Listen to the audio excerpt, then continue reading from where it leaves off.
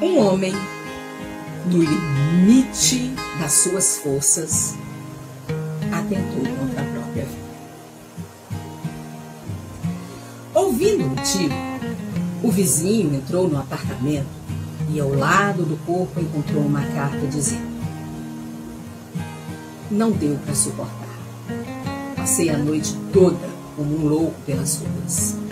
Fui a pé não tinha condições de dirigir.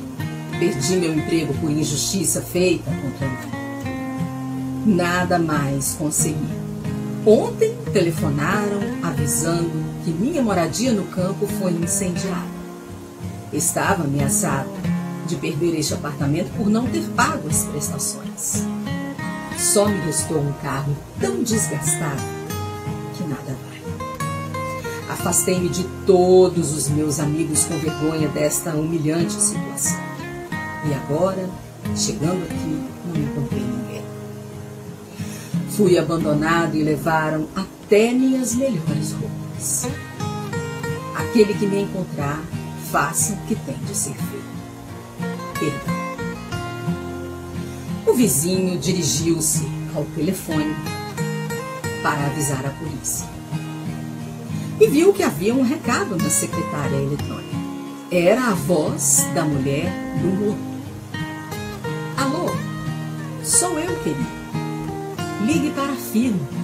O engano foi reconhecido e você está sendo chamado de volta para a semana que vem. O dono do apartamento disse que tem uma boa proposta para não perdermos. Estamos em nossa casa de campo. A história do incêndio era trote. Isso merece uma comemoração, não merece? Nossos amigos estão vindo para cá. Um beijo. Oh, já coloquei suas melhores roupas no porta-malas do carro. Vem, estamos te esperando. No último minuto, reflita só mais um instante. Nunca se desespere. Nunca. Deus nunca te abandona. Se você tem um problema ao qual você acredita que não há solução, que você não vai conseguir resolver, ore a Deus. Ele sempre está ao seu lado. Para todo problema, há solução. Deus não vai colocar na sua vida, nas suas mãos, algo que você não suportaria, algo que você não tenha como resolver. Tenha fé.